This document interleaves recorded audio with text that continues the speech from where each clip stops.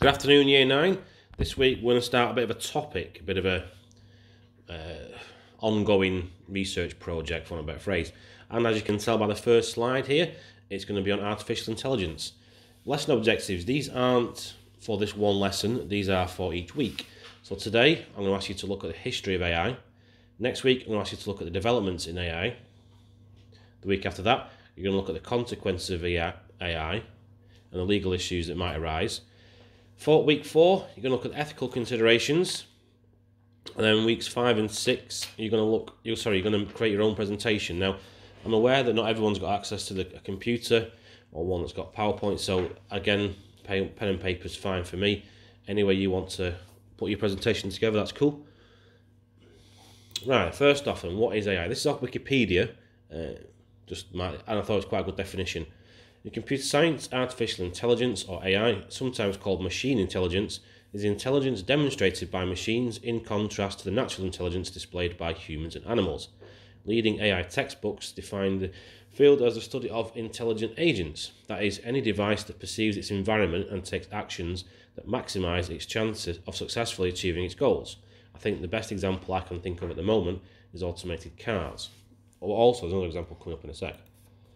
Other so Modern machine capabilities, generally classified as AI, include successfully understanding human speech, competing at the highest level in strategic games such as chess. Uh, there's a IBM have a computer called Watson, I think it's called, that can beat all the grandmasters at chess. So that's again using its environment to maximise its chance of succeeding, which is to win.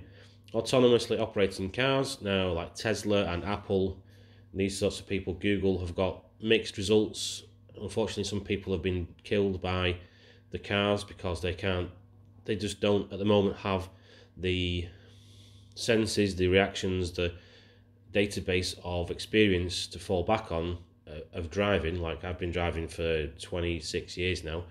You know, no computer can compete with that at the moment. I think there will be a time when they do, but at the moment, uh, that's ongoing. But again, I think that's going to be a big thing that I suspect Google and Apple are all putting significant amount of money into. Intelligent routing in content delivery networks. Now, content delivery network or CDN is what websites use to speed up the website. So, common things on a website like images and the font to make the font look the same on all computers used to be had to have the font installed on the computer. These days, you can use things like Google Fonts, where Google deliver the font to your phone in a fraction of a second, so you can't tell the difference. But a lot of the stuff is held in different places to make sure it's delivered to you as fast as possible. Now I know it sounds a bit daft that having the stuff in more than one place means it'll take less time, but what they can try and do, they generally kind of like side load it at the same time and speed things up, as daft as it sounds. And I suspect this one is very heavily funded on in the background, military simulations of you know what might happen if Vladimir Putin puts all his tanks in you know, toward pushes them through Ukraine. How quickly could they get to Berlin? This sort of thing that will be heavily invested in. We just don't know about it. The only thing I would say about this list, I dispute the first one.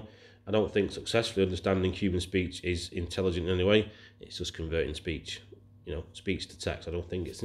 That's just my personal opinion. So this week it's a research history AI. I have put the links to two good BBC articles on Show My Homework there's not really much point. You know, you can rewatch this video if you want. There's a few bits and pieces in there. The original definition I got was from Wikipedia. Feel free to do your own research. Remember, it's the internet, so take some of it with a pinch of salt.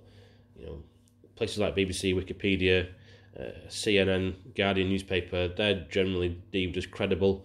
You know, if it's some Dave's post off Facebook about his opinion of AI, the chances are it's not quite as well researched, shall we say, or well balanced.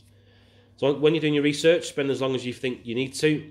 Take some notes because, like I say, in two or three weeks' time, you're going to do a presentation. That's way really. So I hope you guys have all had a good week. Hope you have a good week coming up. Hope you guys are all fit and well. And as always, if you need anything, feel free to send me a message. And you guys take care.